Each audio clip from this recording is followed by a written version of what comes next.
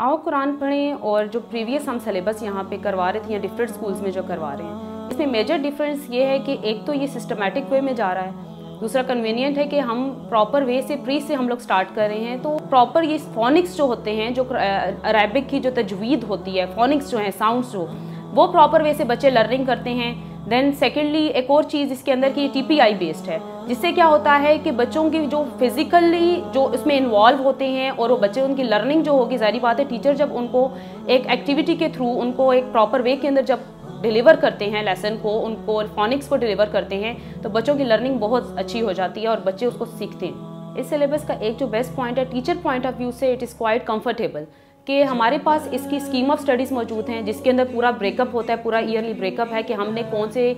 Semester के अंदर जो हमारा ईयरली ब्रेकअप है तो वो किस तरह लेके चलना है, कितना सिलेबस हमने करवाना है। सेकेंडली हमारा डेली लेसन प्लान है कि हमने डेली बेसिस के ऊपर क्या चीज़ करवानी है, बच्चों को कितना करवाना है, और बच्चों की लर्निंग इससे ईजी हो जाती है कि बच्चे कितना सिलेबस लेके कंफर्टेबली उसको लर्न कर सकते हैं। इसके अलावा इनकी ऐप्स हैं जिसके अंदर टीचर्स को अगर कोई गाइडलाइन में प्रॉब्लम आ रही है, उनको लेक्चर डिलीवर करने में कोई इशू आ रहा है तो प्रॉपर उसकी हमारे पास ऐप्स बनी हुई हैं, जिसमें वीडियोस के अंदर भी हमारे पास लेक्चर्स हैं, जिसमें टीचर्स को सिखाया जाता है कि बच्चों को किस तरीके से गाइडलाइन देनी है, किस तरीके से क्लास के अंदर डिलीवर करना है अपना लेसन को कोई भी जाके कोई वर्कशॉप नहीं लेनी पड़ती कि हम वहाँ पर जाके सीख के आएँ। उनको हर चीज़ अपने मोबाइल के अंदर मौजूद है डी लेसन प्लान हमारे पास डॉक्यूमेंट्स के अंदर मौजूद है तो वो उससे ईजिली सीख लेते हैं। मैं ये रिकमेंड करूँगी कि आओ, कुरान पढ़ें, का सलेबस अपने स्कूल के अंदर भी इसका इम्प्लीमेंट करें। तो इससे ये होगा कि स्कूल को बहुत ज़्यादा बेनिफिट हो, क्योंकि बींग अ मुस्लिम हमारे लिए बहुत ज़्यादा एसेंशियल थिंग है कि हम लोगों ने बच्चों को कुरान पाक का सलेबस जो है वो करवाना है।